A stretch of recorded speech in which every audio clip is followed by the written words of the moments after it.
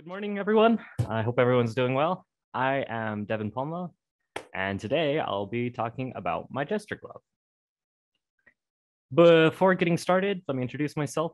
Uh, currently, I am finishing the IoT Deep Dive Bootcamp. Uh, however, before starting this program, I was working as an IT operations assistant with Shockbyte, a server hosting company. Uh, my role is to ensure all operations such as security, audits, issue documentation, and vulnerability patching goes very smoothly.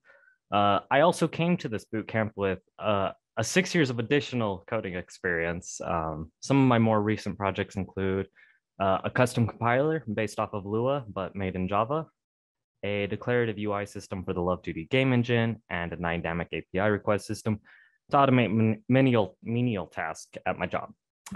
Uh, so onto the project.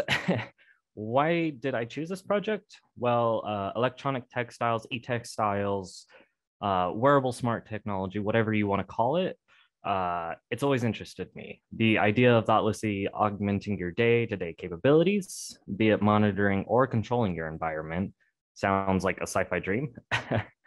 but with the IoT devices, I believe it to be a present-day reality.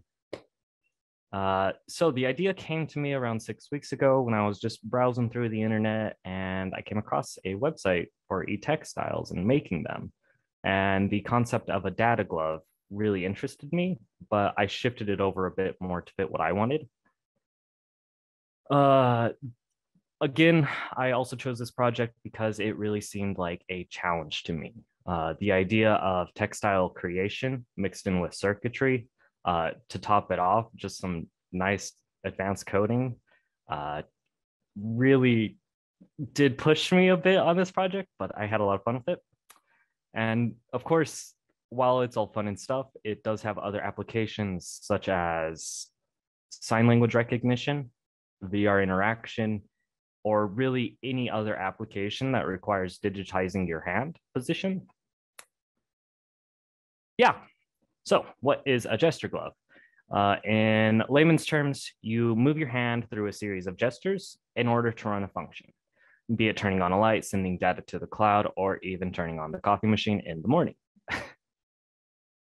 uh, there is all the nitty gritty. If you guys would like to read that, but let's go into the core circuitry of the circuit. Uh, on the right, five flex sensors, one for each finger.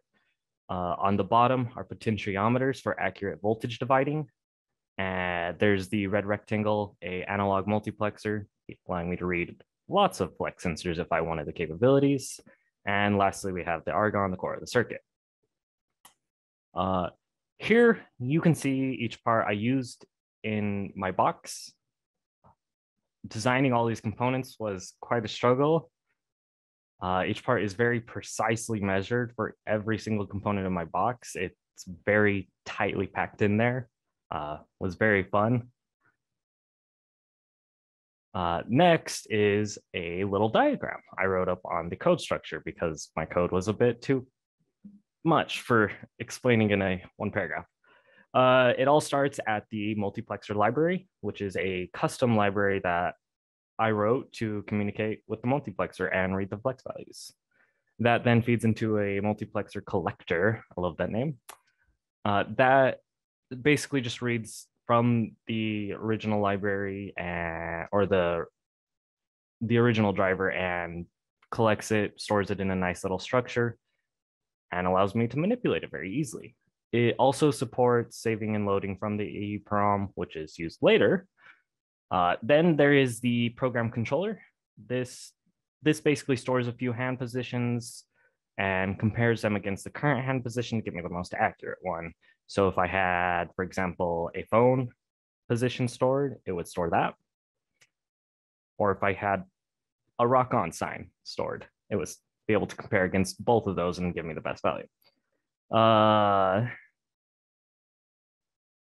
then alongside that, the program controller is also connected into a serial, into the serial communications, which allows me to communicate with it over a GUI I made in processing.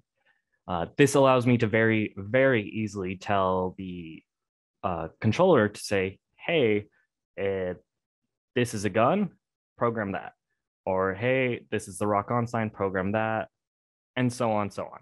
Uh, once I have a few of these hand signs programmed, I can then click request best, and that will tell me the expected hand position my hand is currently in. Uh, just by comparing all the different hand positions and just getting what's closest. Uh, so now that I have the best hand position, I can then throw that into a sampler and the sampler just takes a few hundred or a few thousand samples every few hundred milliseconds and returns whatever the highest sample value was. And that way, it, it in short, it's just a filter. it's about all that sampler is, is just filters out any small deviations. Uh, and lastly, that is all fed into a command handler, which is how I communicate with the outside world, be it turning on lights, throwing data in the cloud, etc. Uh, again, very broad description of how the code works, but that is the general idea about it.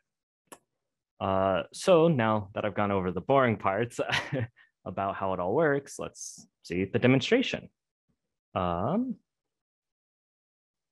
uh, in this demo, I used Adafruit.io, a nice cloud-based data storage and dashboard. Here you can see I count from zero to three using my fingers and the light goes green. And when I count from three to zero, the light goes red.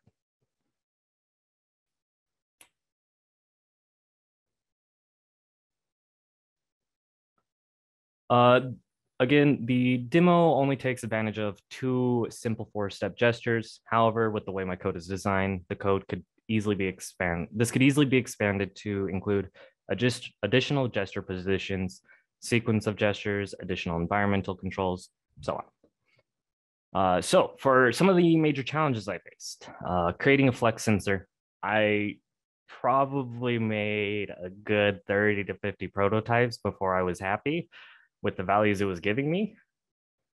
Um, creating the glove in general I struggled a lot with the textile side of things, such as stitch, stitching on the flex sensors, routing wires, and just generally keeping the glove together.